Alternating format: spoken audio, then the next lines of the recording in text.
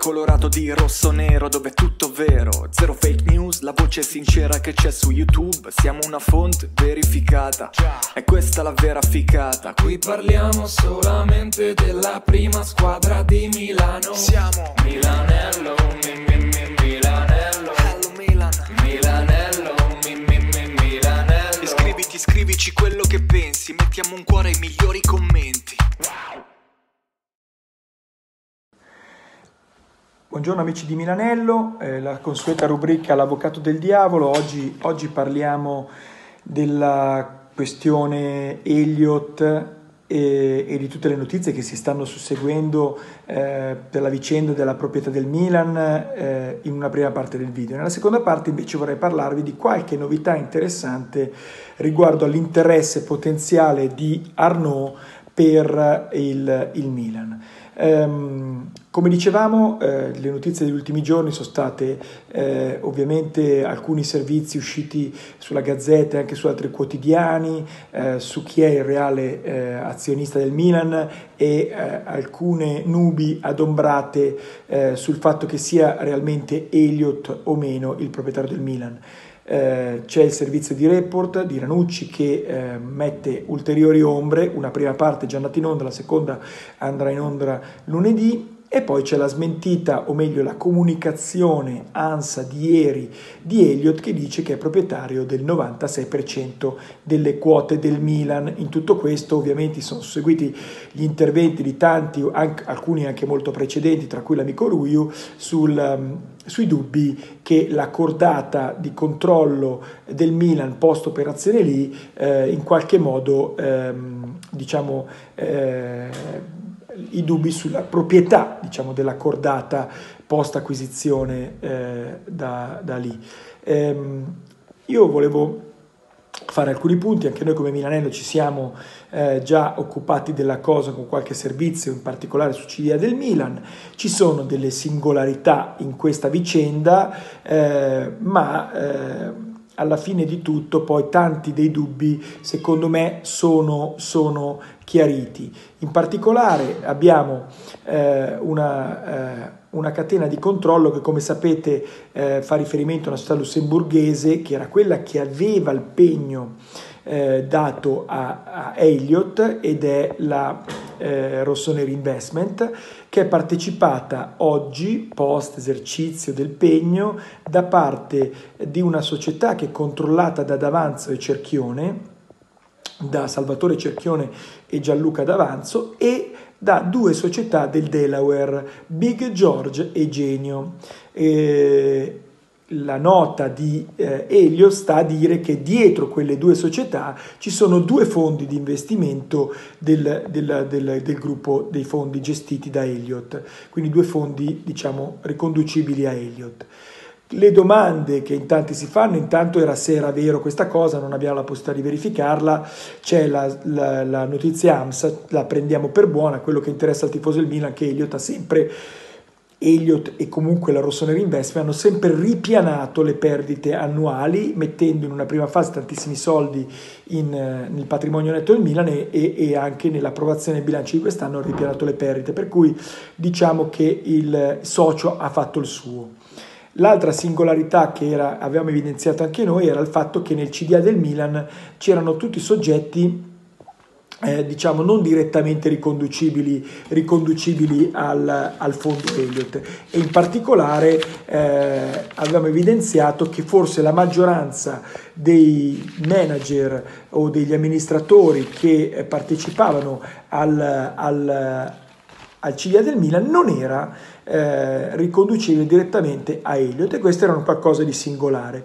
Però le fonti di Milanello, che non ha nessuno, tra l'altro che non ha neanche report e neanche gli altri amici opinionisti, sono di parlare direttamente con i diretti interessati, di parlarci e non di leggere i comunicati stampa. E possiamo dire che alla fine della nostra, diciamo, mini due diligence, il ehm, nel Milan ci partecipano tutte persone in maggioranza riconducibili a, a, al fondo Elliott. Perché diciamo questo? Perché Salvatore Cerchione e Gianluca D'Avanzo sono eh, a quanto consta a Milanello, riconducibili a Elliott in quanto sono i manager che coinvestono con Elliott in tantissimi altri investimenti e, e sono eh, soggetti di fiducia come possono essere i partner eh, di un SGR che fa investimento. Loro coinvestono e, so, e hanno la fiducia completa di Elliott, quindi possono essere ricondotti nell'ambito del board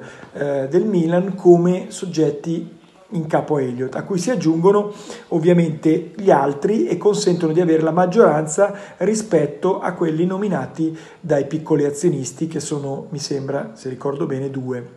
Eh, l'altra figura che era presente con lì ed è ripresente nuovamente è Scaroni, che era consigliere con lì ed è presidente del Milan perché probabilmente è stato individuato come figura eh, di rilievo istituzionale che andava bene anche per il nuovo socio, socio Elliott istituzionale. Gazzidis è stato scelto da Elliott ed è l'amministratore delegato, pur diciamo terzo al mondo Elliott prima di questo investimento, ma comunque scelto e comunque sempre eh, sostituibile nel caso in cui i risultati non ci siano. Per proseguire nell'analisi, se noi poi eh, andiamo a vedere il collegio sindacale, che era un altro dubbio che avevamo avuto perché era presente lo stesso collegio sindacale, Papa e gli stessi sindaci con lì e ora sono presenti con Elliott, penso che gli venga riconosciuto un ruolo anche qui istituzionale che è stato quello di convocare l'assemblea per consentire al socio Rossoneri Investment di nominare il nuovo board post esercizio del pegno. Quindi dalle analisi fatte da Milanello e dal sottoscritto in particolare, pur non avendo una trasparenza completa, perché ci fermiamo alle notizie che abbiamo sul del Delaware e alla, eh, al comunicato rilasciato all'ANSA, io ritengo e penso che anche eh, il, il Milanello ritenga che il controllo del Milan sia del fondo Elliott. Questo era per dare anche noi il nostro contributo all'esame. C'è un, un, una novità e, e, questo lo diciamo dopo aver sentito alcune persone, eh, non sulla base solo documentale. Eh, tra l'altro Salvatore Cerchione e, e, e, Gianluca D'Avanzo vengono dipinti anche da report con eh, il surf, che fanno surf, tatuate e quant'altro, parliamo di due grandi manager, ingegneri, gente preparatissima che ha investito e fatto anche tanti soldi con operazioni fortunate. E vi dico una cosa che si collega alla seconda parte del video. Sono loro tra i primi preoccupati che questo investimento sia un buon investimento. E quindi tra loro, tra i primi che spingeranno, e qui la notizia, per la vendita del Milan se dovesse arrivare un acquirente, perché Elliott ha investito i famosi 300 più i vari ripianamenti, siamo oltre 500 milioni di investimento in carico ad Elliott e quindi si inizia ad arrivare a quella soglia di non ritorno, se anche l'anno prossimo dovesse ripianare le perdite, poi se Elliott vuole guadagnare qualcosa deve vendere Milan quanto prima a un valore superiore a 600-700 milioni di euro. E non tutti sono disponibili a, a queste cifre, se non persone o soggetti giuridici che hanno un interesse. Chi può avere un interesse nel Milan, che è una società che comunque di calcio che potenzialmente nei prossimi anni continuerà a perdere, chi ha un interesse all'immagine, al marchio Milan, marchio Milan nel mondo. E questo torniamo alla notizia che possiamo avere e che nell'entourage sia del Milan che del mondo Arnaud possono, ehm, ci hanno riportato un interesse che potrebbe sfociare a primavera. Non è un caso anche le notizie di stampa del Sole 24 ore di settimana scorsa che parlano del rilancio per il bel paese della famiglia Arnaud che controlla ovviamente tutta la parte di Louis Vuitton e, e, dei marchi del lusso e ha rilanciato dicendo che in Italia l'anno scorso ha investito 200 milioni di euro nella manifattura in Toscana.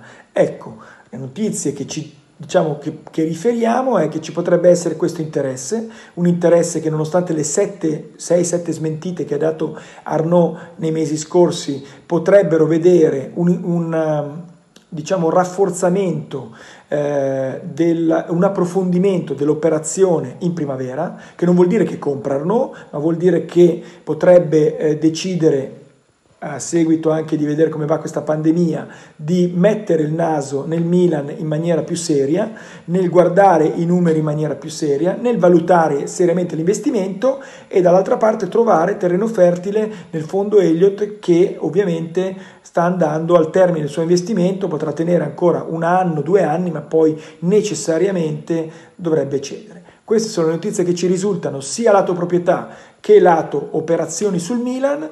Io vi ricordo di iscrivervi al canale, vi ricordo di seguire le nostre live. Eh, Forza Milan, sempre.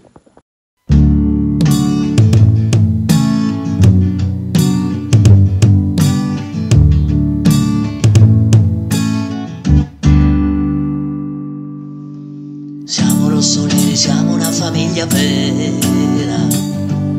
Scrivi, sfoga, dici quel che pensi, dacci la tua idea. Siamo rossoneri, siamo quelli che non hanno paura. Apri questo sito, abbiamo bisogno di una voce nuova. Hello, hello, hello, Milanello.